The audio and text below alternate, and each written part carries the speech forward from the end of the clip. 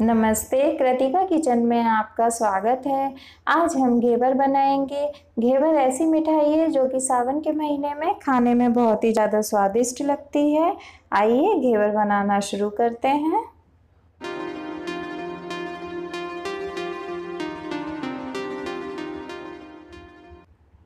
घेवर बनाने के लिए हमने एक कप मैदा लिया है। मैदा को हमने अच्छे से छान कर साफ़ कर लिया है। और हमने ड्राई फ्रूट्स लिए हैं। ड्राई फ्रूट में हमने किशमिश, बादाम, पिस्ता, काजू लिया है, जिसे हमने बारीक काट लिया है। एक चौथाई कप हमने देसी घी लिया है। आप चाहें तो डालडा घी या रिफाइंड ऑयल भी ले सकते हैं। और हमने एक चम्मच नींबू का रस लिया है और हमने यहाँ पर पाँच से छः आइस क्यूब ली हैं।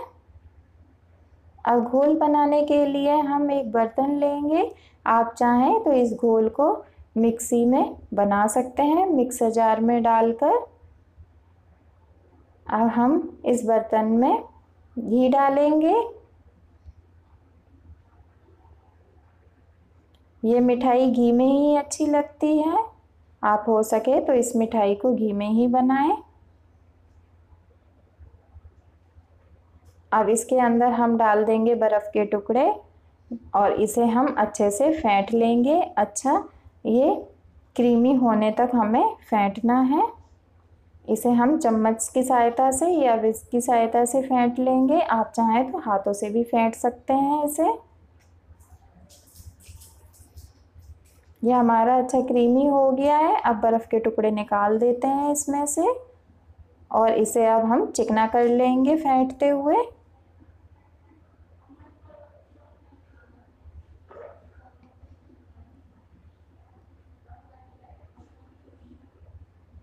अब इसे हम अच्छे से चिकना कर लेते हैं, थोड़ा और फेंटते हैं इसे।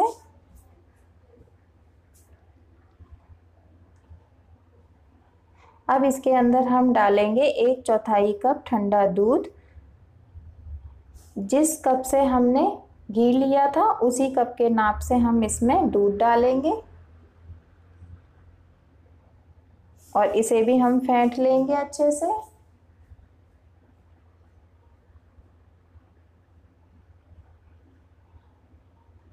इसे हमने फेंट लिया है। हमने लिया है एक कप ठंडा पानी। इसे हमने इसमें डाल दिया है। आधा कप पानी हमने इसमें डाल दिया है।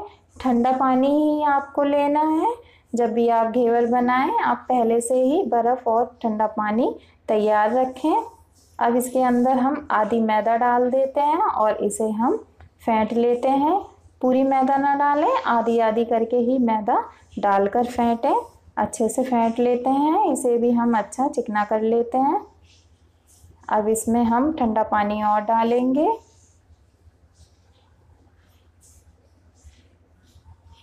और इसे भी हम फेंट लेते हैं। अब बाकी की बची हुई मैदा भी हम डाल देते हैं और इसे भी अच्छे से हम फेंट लेते हैं।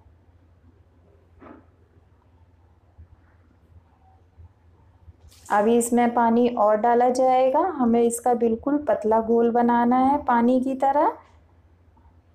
इसमें हम एक कप पानी और डाल देते हैं। हमने एक कप मैदा में दो कप पानी डालकर घोल तैयार कर लिया है।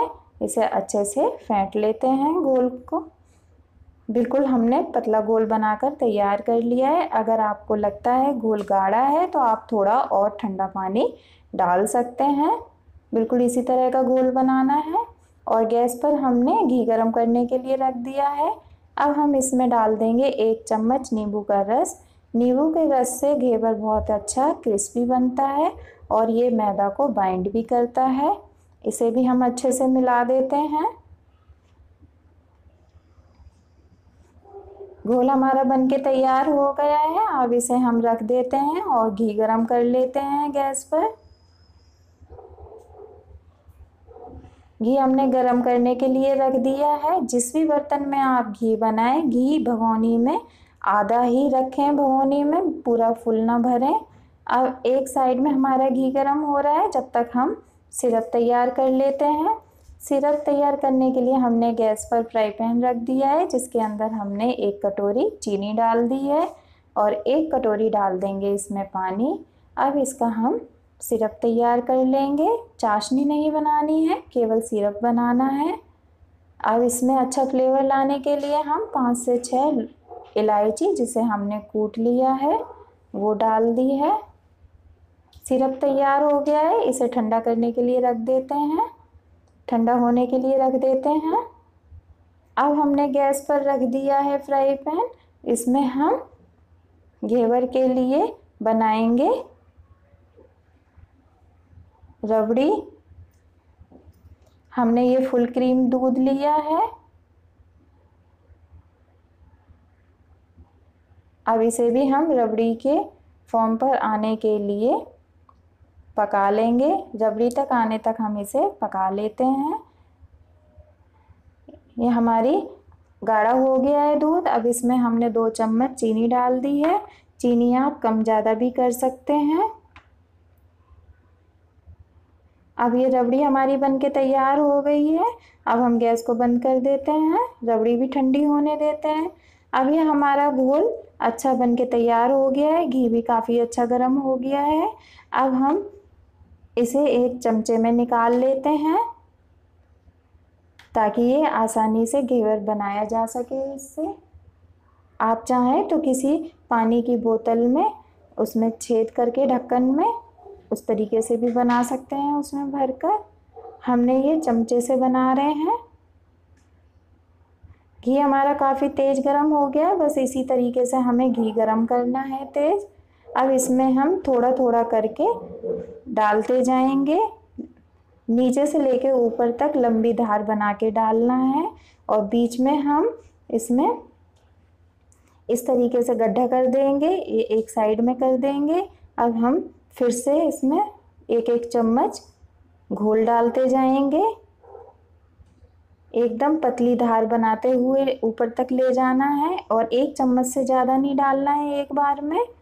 जितना आप मोटा पतला घेवर बनाना चाहें, उतना आप इसमें घोल डाल सकते हैं और इसे हम बीच में गड्ढा करते जाएँगे। अब इसे हम सिकने देते हैं अच्छे से। हमारा घेवर अच्छे से सीख चुका है। तेज़ आँच पर ही हमें घेवर बनाना है, धीमी आँच पर ना बनाए अब इसे हम बीच में से उठाते हुए निकाल लेंगे। अब एक छलनी में हम निकाल लेंगे ताकि इसमें से अच्छे से घी निकल जाए।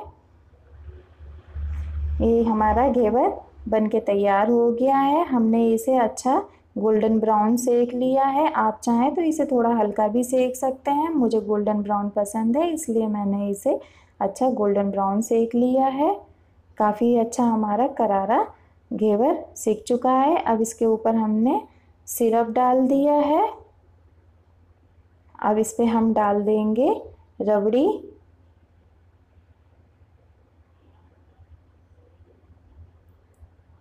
पूरे में रबड़ी हमने फैला दी है घेवर के ऊपर। अब इसके ऊपर हम ड्राई फ्रूट्स डाल देंगे। जो भी आपको ड्राई फ्रूट पसंद हो, वो आप इसमें डाल सकते हैं।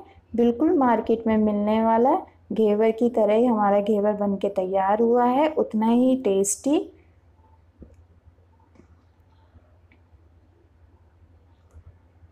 लीजिए, हमारा घेवर बन के तैयार है। आपको हमारी वीडियो कैसी लगी, हमें कमेंट्स में ज़रूर बताइएगा। अगर आपको हमारी वीडियो अच्छी लगी है तो लाइक कीजिए, शेयर कीजिए और हमारे चैनल को सब्सक्राइब कीजिए।